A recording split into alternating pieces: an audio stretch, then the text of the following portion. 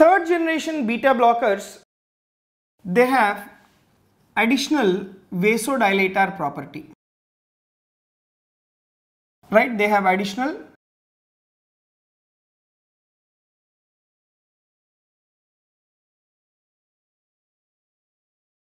vasodilator property.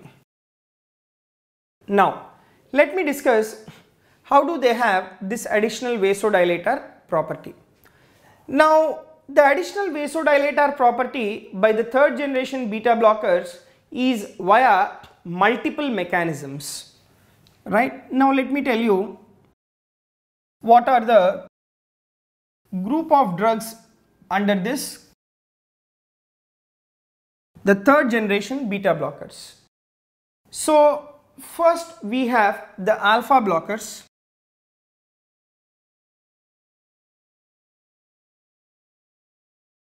Right, alpha blockers. If you take alpha blockers, the examples what we have is labetalol,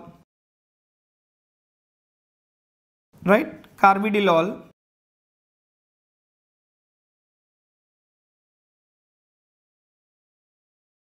And apart from labetalol and carvedilol, we also have medroxalol which is having alpha blocking property.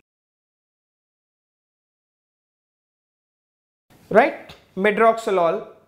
And then we have bucindolol.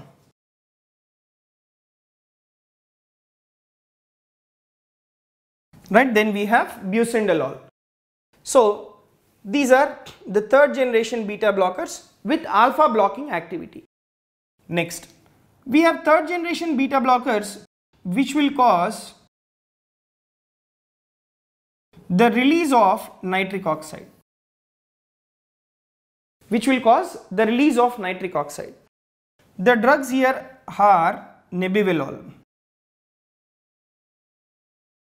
Right, the drugs in this group are nebivolol.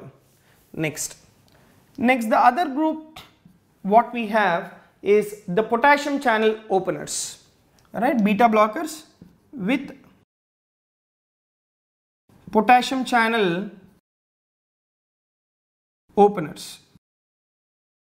Now, if you take these particular drugs, they include tilisolol, right? The drug under this is tilisolol, okay? Next, now apart from that, we have the third generation beta blockers with calcium channel blocking property.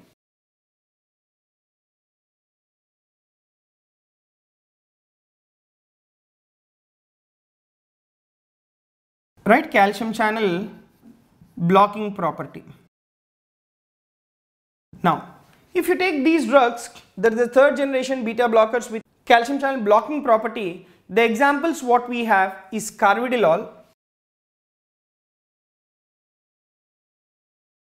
right carvedilol.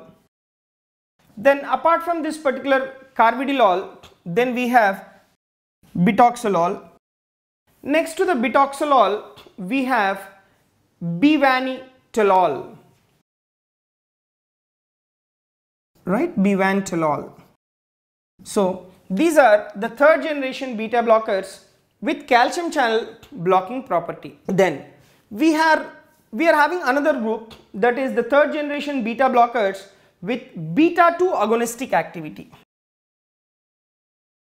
Right with beta 2 agonistic activity. Now beta 2 receptors once they are stimulated there will be vasodilatation the examples what we have is celiprolol, then we have carteolol, right? Then we have carteolol and lastly we have bopindolol. Right, then we have bopindolol. So, these are the third generation beta blockers with vasodilatory activity. So once the alpha receptors are blocked, there will be vasodilatation. Once there is release of the nitric oxide, that will increase the cyclic AMP and thereby there will be vasodilatation that is your nebivolol. Then we have potassium channel openers which is tilisolol. Then we have calcium channel blocking property that is carvedilol, betaxolol and as well as bevantolol. Then we have beta 2 agonist that is celiprolol, carteolol and as well as bopindolol. So these are all your the third generation beta blockers which have the additional vasodilator property.